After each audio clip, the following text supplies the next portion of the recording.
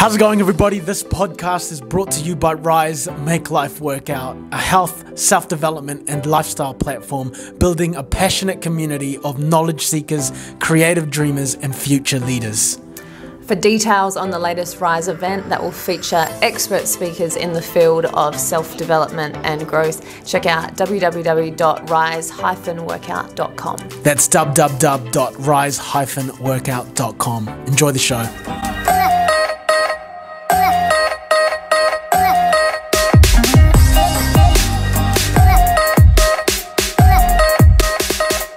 And welcome back to another episode of Rise Optimize, where we make science simple to help you optimize your health. My name's Shanae, and I'm joined by Dr. Shah today. Hi, Shanae. Today, we are talking about a couple of supplements in particular and whether they are worth your money. Yes. I'm looking forward to this. yeah, these are quite popular supplements. So we're going to be talking about BCAAs or branched chain amino acids. Uh, most people would have seen them in the gym. They're kind of powder that people add to their drinks, and also collagen supplements, which are always all over Instagram. You know, Yes. pro- you probably know someone who is sponsored by Not us. not, yeah, not us. But yeah, there's they're rife across Instagram, and it, it does make you wonder, like, oh man, am I missing out by not taking taking those? Because I want glowing skin and strong nails and beautiful hair. Yeah. So, uh, yeah, we'll go into talking about those and Yeah. what they can and can't offer, perhaps. Yeah, and that's the thing with supplements; it's they aren't always cheap. So I think people do need to know if it is actually having an effect or it's doing what it claims to do.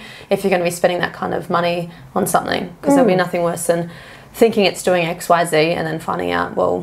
It might be doing that, but not as much as you think it's doing, or it might not have any effect at all. So, Yeah, and potentially alternatives that that might be uh, potentially the same or superior standards for that same product, which I I hope to talk about, particularly with collagen. Yeah, Cool. Yay. All right, well, let's get into it. We'll start with branched chain amino acids. So, what are they for people that might not have heard of them? yeah. So branched chain amino acids, uh, they're three uh, of the essential amino acids. So those are the ones that we can't produce in the body, so we get them from our diet. If you go back to our protein episode, I talk more about protein generally and amino acids. Amino acids are the building blocks of protein, so they're the smaller little subcomponents that make up all the proteins in our body as well. And they're also used for fuel, they're sometimes used as precursors for neurotransmitters, a bunch of stuff. So they're a very important component generally of, well, protein is an important component of our diets. The amino acids that make them up are also important for our bodies so that we can make protein as well. Uh, so the branched chain amino acids, there are three of them leucine, isoleucine, and valine. And in a branched chain amino acid supplement, there's a specific ratio that those are normally in, and it's normally 2 1 1. So you have uh, twice as much leucine as you do isoleucine and valine. And there are a couple of different reasons why people use them. So some are, and one that I'm very familiar with is that it helps to prevent fatigue and prolonged exercise.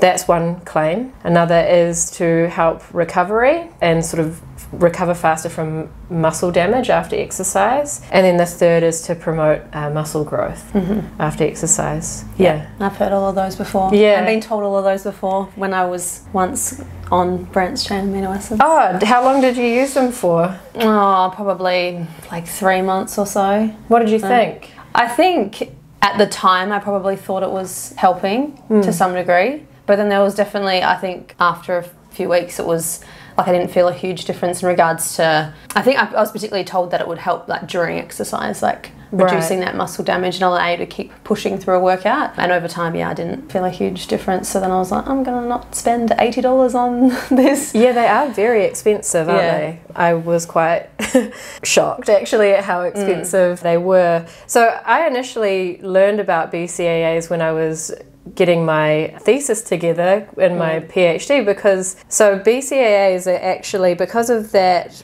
proposed benefit of being able to attenuate fatigue. The mechanism by which they're thought to do that initially was proposed to be involved with central fatigue or the brain, and mm-hmm. so that was that was a core topic in my thesis. And so I had to look at this particular nutrient or supplement as a possible intervention as to how central fatigue might develop. Um, and there's actually a really elegant hy- hypothesis that it, it's beautiful in the way that it sort of speaks about the chain of events that can happen, and you can see where BCAAs could fit in quite nicely. But mm. and it seems to hold in animals, but in humans, the case gets more complicated. So mm. yeah, I, I came at it from the combating fatigue during prolonged ex- exercise part mm-hmm. more so. I've also heard people say that it's been marketed to them as something that just helps them or can help with rehydrating in terms of the taste of if they don't like the taste of water that BCAAs mm. could help with that mm. because they're tasty. It, they are. Yeah. I think after They a while I was like, delicious, this tastes nice. But then after a while I was like, is this actually helping me? I felt that, again, what dictated if I had energy, sustained energy for a workout was more if I slept well, you know, mm. throughout that week and was eating well and, and hydrated and all those kind of other things felt that that had more of an influence on my workout. But anyway. We can get into, I guess, some of the reasons why those claims have come through. Yeah, so one, I mean, BCAAs, I can really see why people look to these, and and when, when the mechanism or proposed mechanism is explained, it is quite convincing. Mm. If with a surface level knowledge of of physiology, you would be like, oh, okay, you know, That makes sense. that makes sense. Yeah. Okay. And so one of them is let's talk about the muscle damage and the muscle growth part of that claim. So BCAAs, one of those amino acids in them is leucine. Leucine is quite important for signaling the muscle protein synthesis pathway, and so that is where it was thought that it it might help with things like recovery after exercise and reducing muscle damage, reducing muscle soreness. Mm-hmm. And in studies, it, there is a perceived effect of it in that sense, but in terms of actual markers of muscle damage, it, d- it doesn't differ between BCAs and placebo. Another point here to think about is potentially you could get the same effect from having a protein supplement, mm. which has a full amino acid profile mm. as well, or one that has potentially more leucine in it as well, rather than restricting it to just the three amino acids. A whey protein supplement, for example, is a lot cheaper than mm-hmm. BCAAs. So if you are concerned about muscle growth and repair, Mm-hmm. After exercise, then some of the benefit that some of these studies have seen might just simply be because it's providing protein. Protein, yeah. And if y- if you then compare it to a protein supplement, Yeah. they're about the same Yeah. if not better with the protein supplement. So Yeah.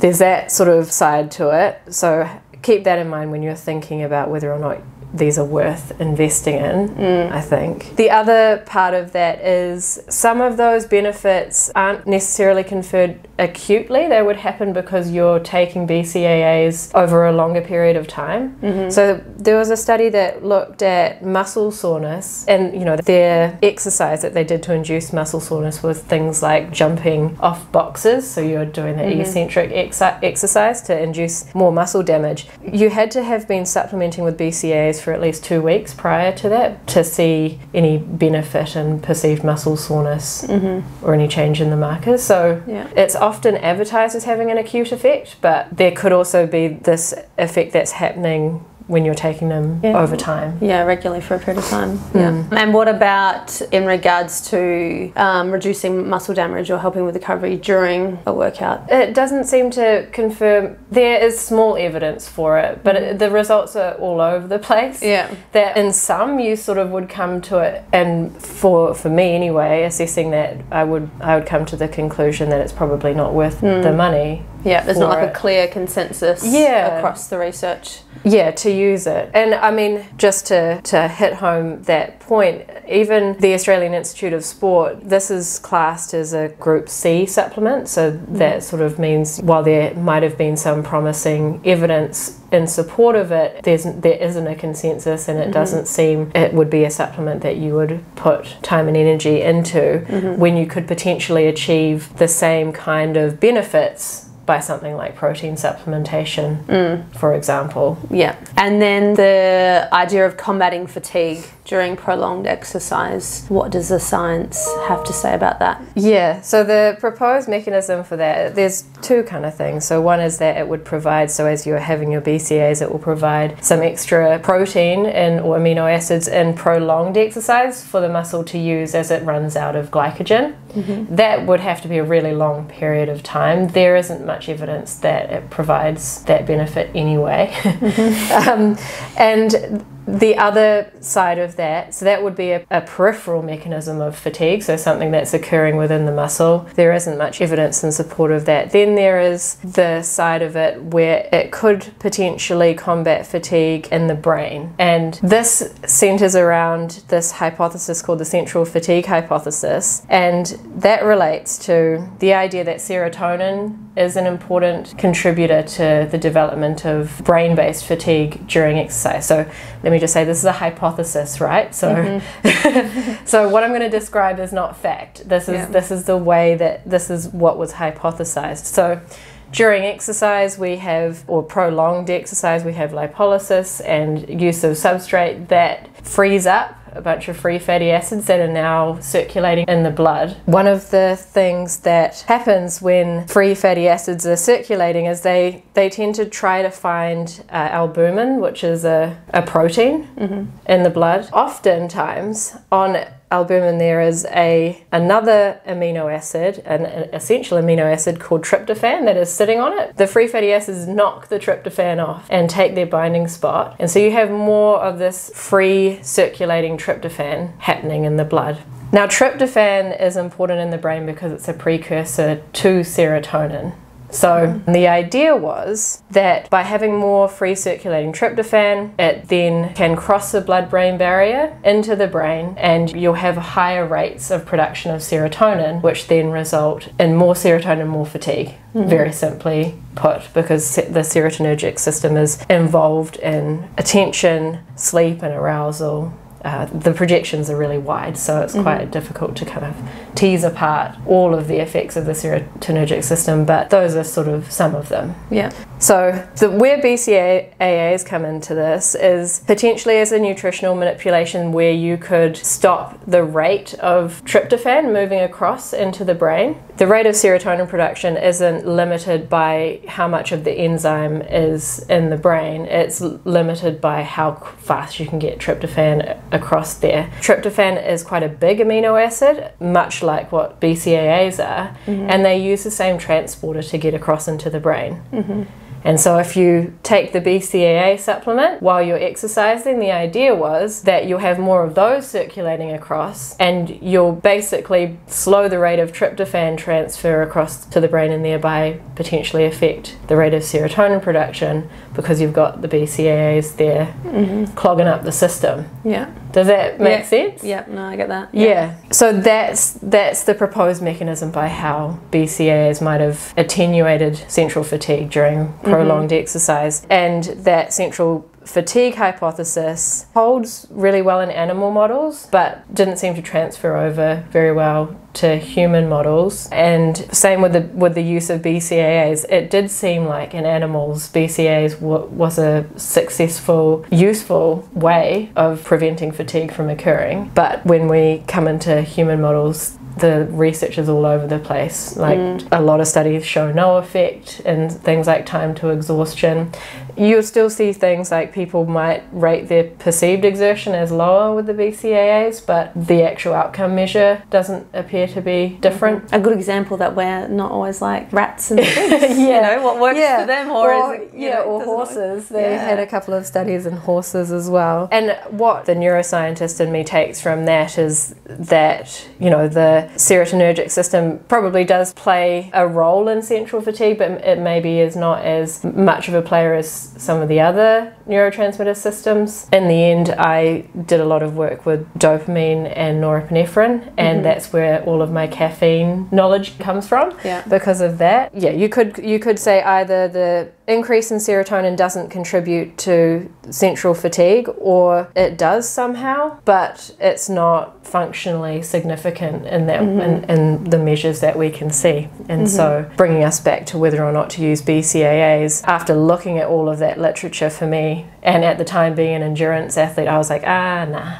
it just Yeah. wasn't convincing enough. Like you said, when there's not a, a clear consensus across all the research to say, yes, this, you know, 10 times out of 12 it works, it's mm. good, then when you plus the cost of it, that's where it's hard to sort of justify things. Different if it was, again, if we were sponsored and we are getting CAAs for free, then maybe we would take them because it doesn't cost us anything and there's no, I guess, side effects or harm of taking them. Oh no, there isn't any Yeah. harm. They taste delicious too. Like if I Yeah. was to get, if someone gave me a bottle full of the watermelon flavour, BCAAs, then uh, yeah, I'm, ha- Yeah. I'll, I'll, I'll use it. But because sure. we're not sponsored and we have to pay for things in our own bag, it's a no from us. yeah, yeah, exactly. Uh, yeah. No, it's it's. I think it's a, a worthwhile point to note because I think, like we said, a lot of times you see particular supplements promoted by influencers and fitness people that are sponsored, and therefore they are getting it for free, and they come on saying, "Oh, I've got so much more energy and this and that, mm. and I recover quicker," and you think, "Oh my god." I should be taking that. I want to be able to recover quicker and I want more energy. And oh, do I need to be taking this supplement in order to, to achieve those results as well? But so often when it comes with a $80 or $100 price tag, it's like, no, you can be doing other things that don't cost you that much and still be getting the same results. So, yeah. If you want to, if if your goal is to attenuate or combat fatigue during prolonged exercise, use caffeine. Mm. That would be an effective way and a much cheaper way of doing it. I could see why this is attractive though, because it doesn't have that stimulant effect. Yeah. So so the idea of it helping. Mm-hmm. With that and not having that kind of, you know, you could take it in the afternoon, for example, if it worked.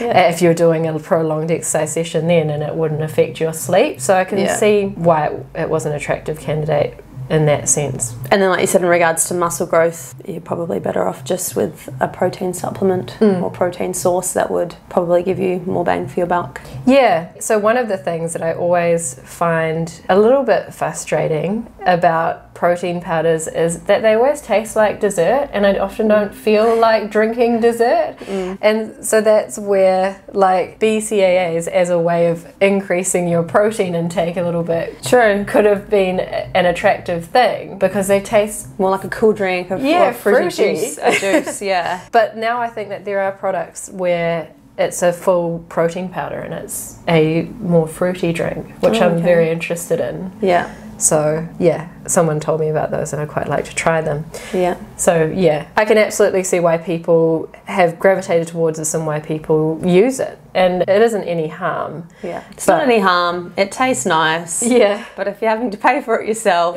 and it might be breaking the budget, then don't worry. Yeah, if it's breaking your budget, then yeah, take that stress out of your life. Yeah. Yeah. And have some orange juice instead. No. So next up, collagen. yes, collagen. One that I feel has just become more popular in these last few years. I think prior to that, I didn't hear much about collagen supplementation, and yet now it's, I feel it's almost as common as using a protein supplement, mm. particularly in the influencing world. So, yeah, this will be a great one to discuss what is collagen, why would we maybe want to be supplementing it, and is it worthwhile to be supplementing it? Yeah. I also, whenever I think of collagen, I always think of bone broth as well. Yeah. Those also had their moment, and, um, Yeah. or they still do have Yeah. their moment in, in the light, don't they? Uh, yeah. Yummy. like, I, I've got nothing against uh, making like a chicken stock or things like that in my kitchen, but it's not sort of something that I'm, I think needs to be sort of leaned on as the core to, you know, your skin's vitality or yeah. youthfulness or health in general. and generally, I mean, correct me if I, I'm wrong, but something like collagen, um, like our body does make it itself. Mm. And I've always trusted that my body will do its thing and make what it needs to in the hopefully correct dosage that it needs. Yes. For now, at least. Yeah. Maybe it's something I need to worry about when I'm older, but yeah. Yeah, so just to clarify for people, we didn't actually end up saying what collagen was, but collagen is another protein Yeah. and it's an important structure, particularly in our connective tissue. So, uh, our skin, our tendons, our cartilage, bones. It's also quite important in repairing the lining of the gut as well. It makes up a huge amount of our skin, it's like 75%. So, that's why it's quite an important 75% of the dry weight of the skin, which sounds disgusting when you when when you express something as a, uh, the Yeah. idea of skin as a in dry, Dry weight. weight, yeah. Um, It's also an important part of the extracellular matrix, and the extracellular cellular matrix is the space between the cells, essentially. But that has a structure, and it's also a really important communicator essentially for signaling growth and repair as well and collagen makes up a lot of that too. Mm. so i think there was a, a, stat that i read it makes up one third of the total protein in humans so it's it's really significant and a bit like the bcaa example that we spoke through before you can see why people then go oh it's really important for our body's structure our connective tissues. Surely if we're making it more available by supplementing with more of it it, then it will help. mm. Yeah, more is better, right? Yeah, yeah. But one thing to, to know, like you said before, is that your body creates it from amino acids. So collagen is a protein. It's made up of the building blocks, hundreds of them. In the case of collagen, it's a very large protein. I think the only amino acid, one of the only ones it doesn't have, is, is actually tryptophan, mm-hmm. which we just talked about before. So our body is capable of making it and repairing collagen and maintaining the structures within our, our body that require collagen. Uh, one of the reasons, though, that people do become sort of more obsessed with it is over the time course of aging, our ability and rate of making collagen starts to slow down mm-hmm. essentially. The structures themselves start to degrade a bit as well. And so that's another reason why the thought of supplementing with it could potentially be helpful. Mm-hmm. which is that correct me if i'm wrong would that be the case for a lot of our proteins as we age? Yeah. Which is why they sometimes recommending like when you get to that particular age to be supplementing protein a bit more if you're someone that oh, yes. hasn't. Yeah, I mean, yeah. it's the same thing with the idea of sarcopenia. Mm, yeah. So someone, as you age, and osteopenia and all the other, yeah. Yeah. Uh, also, too, this kind of links back into the creatine episode as well, where we were talking about the use of creatine and how it can help as you age mm. and sort of assisting that maintenance of your muscle mass mm. too. So, and, and, in that case, it would be helping with the essentially the quality of training when you're combining mm. it with exercise. Yeah, yeah. And so, because exercise as well is a very powerful stimulus for yeah. muscle protein synthesis, and yeah. so you know it promotes that pathway repair those proteins too. And so if you you're making sure that your diet is adequately flush mm. with protein yeah. then you will you should have enough there to replenish it. Yeah. But yeah as as we age things just become a bit slower. Yeah. So I guess that could be one of the reasons that people would consider supplementing it. What are some of the other reasons that people choose to supplement collagen or have heard reasons why they maybe should? Well, I think the dominant reason that's put forward is, is for mostly aesthetic purposes, right? So your skin, hair, nails, yeah.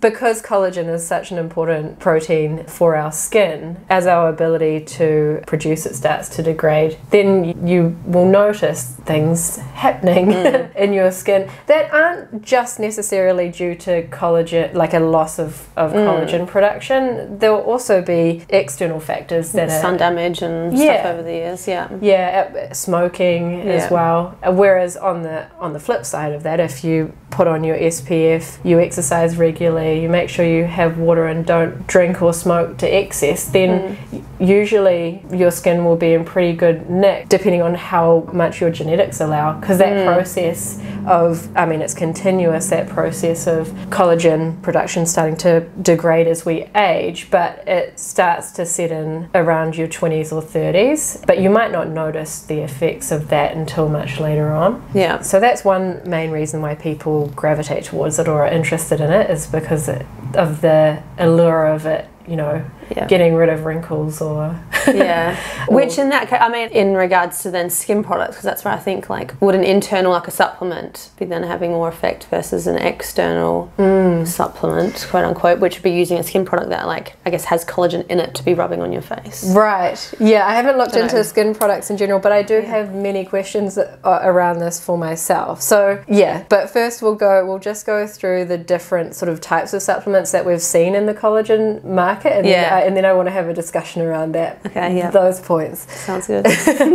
So I think initially what we saw with collagen supplements was collagen just as the entire protein in the supplement. Mm-hmm. And what I saw at the time, and in terms of the science of that, was collagen as a protein is huge. When it gets into your gut, it's just broken down into its separate amino acid blocks, transported across, and then essentially your body then decides where that's going to go and what it's going to rebuild or repair or grow. Mm-hmm. For example, so in in the case of those supplements, you you can't. it doesn't go through your gut lining into your blood and then be like, oh, I, re- I remember I was collagen again, and then mm. go Yeah. go back into collagen, and, and then you know gets transported to your jowls or like Yeah, that's what I'd always thought, and I knew that it depended on what sort of format a particular supplement was taken in. Because I, mm-hmm. I always thought, well, it's a protein; it's going to be broken down into its individual amino acids anyway. It's not like by consuming that collagen, you're ingesting it as a full collagen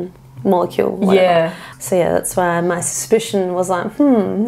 Yeah, and then I'm not sure whether it was science or collagen companies or a lovely collaboration between both that came up with this innovation where they did sort of take that on board and go, oh, yeah, that, that is correct. It will just be broken down. What we'll do is we'll break it up into smaller peptides. So, smaller, so you've got your collagen protein, and then they've broken it up into smaller blocks that actually do get absorbed like through the gut in their whole form. Okay. And so then the idea of that being that once they're in there in that form, they are more likely to be used for the repair or building of collagen.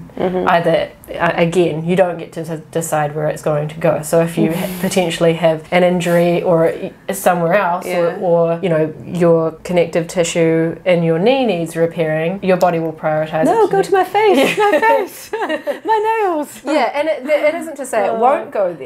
Yeah. but it, that may not. Your body will prioritize it itself based on what it feels it Yes. where it needs to go. Yeah, uh, and so those collagen supplements, they do actually. There was a meta-analysis that came out in 2021 looking specifically at skin and collagen supplements for using the collagen peptides, which I think pretty much now all of the, your main players in terms of collagen supplements will have taken on that new formulation. But mm. just double check. Yeah. And so it does seem to confer a benefit to things like skin elasticity, hydration, firmness, appearance. When taken in that form, in that meta analysis, the dosages were quite a large range. So it was like two grams a day, beyond 15, I think, in some cases. I'd have to mm-hmm. double check, but I can put that reference in the notes. But what sort of has become more accepted is the idea that you need to have a dosage of at least 10 grams per day in order for it to confer those benefits on your skin. In addition, you need to have the effects only noticeable just after 60 and then 90 days, somewhere in that range. So you mm-hmm. need to be taking it for at least two months, perhaps three, before those differences will be noticeable. And they're only maintained after you stop it for 30 days. Okay. So you're signing up for collagen for life. yeah.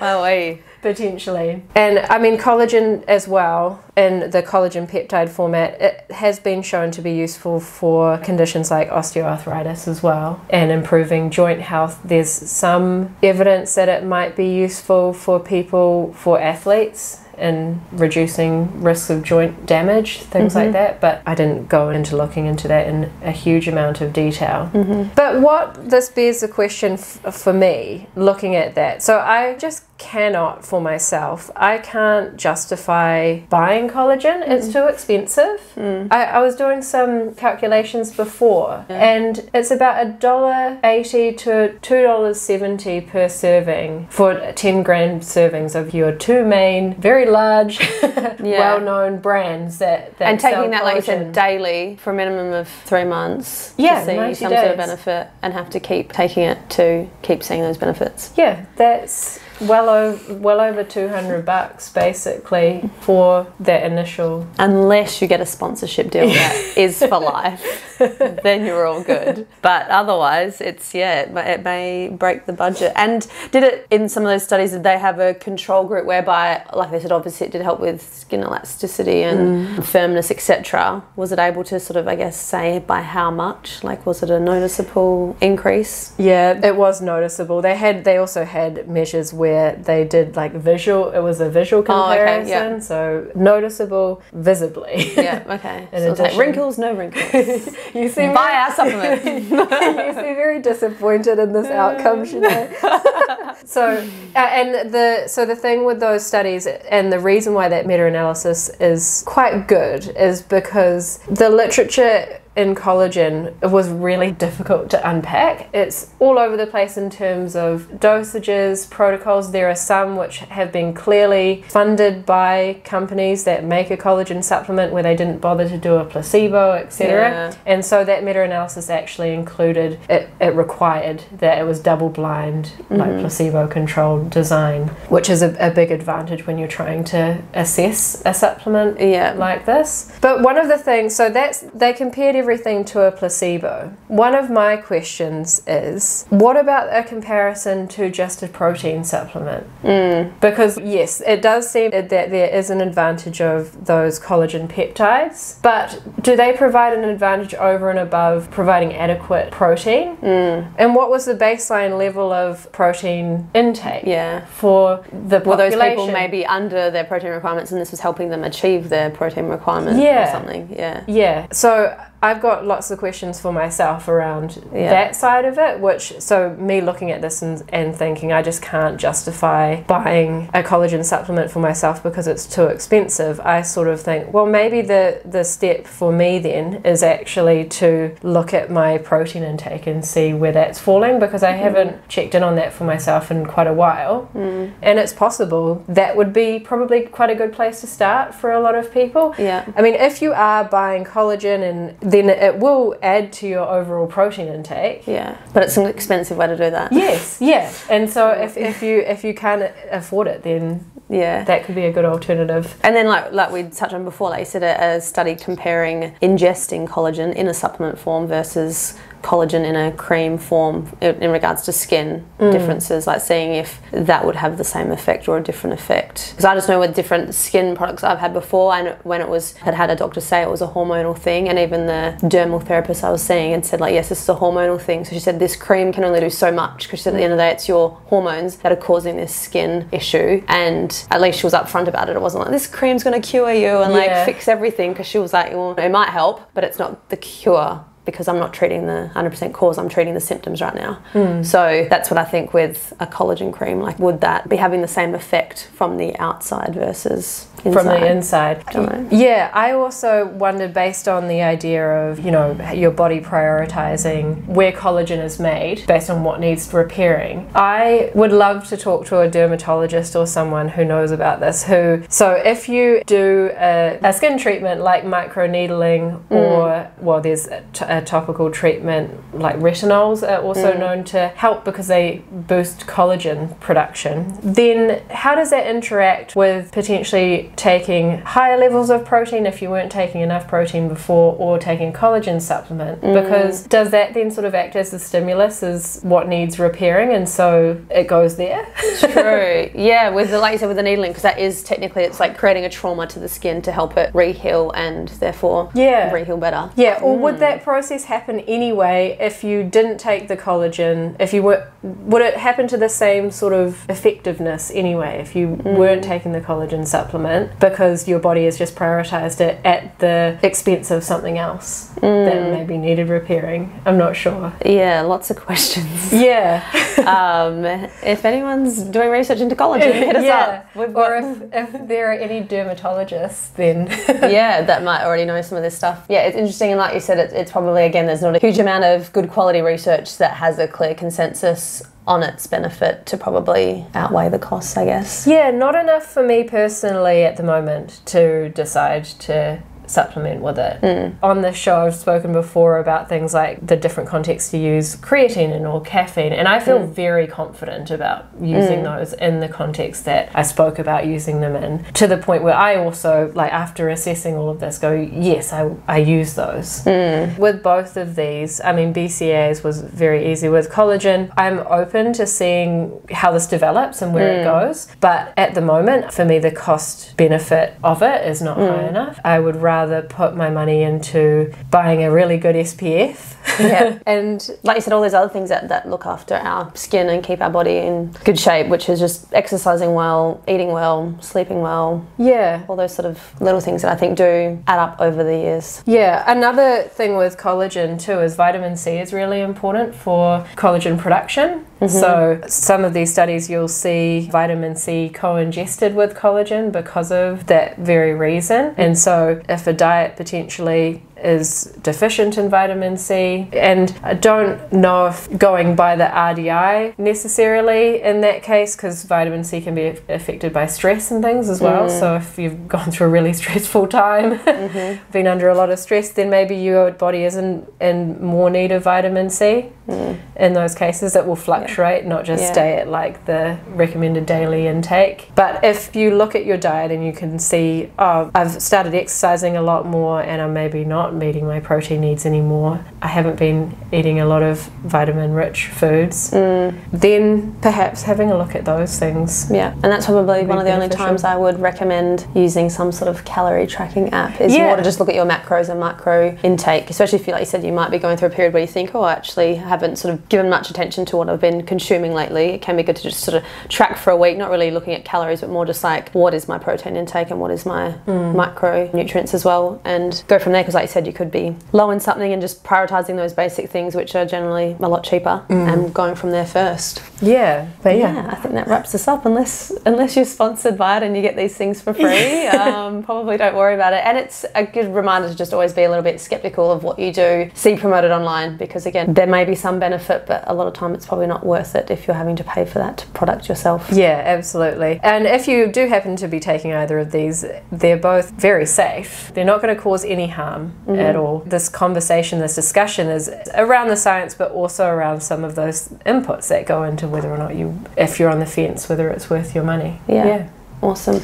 If anyone's got any additional questions, where can they find you, Dr. Shah? Uh, I'm on Instagram at Charlie J. Connell. Yes, you are, and I'm on Instagram as well at Health Coach Shanae. Make sure you're following along at We Are Rise NZ as well, and subscribe on YouTube at Rise Make Life Work Out. We'll see you next time.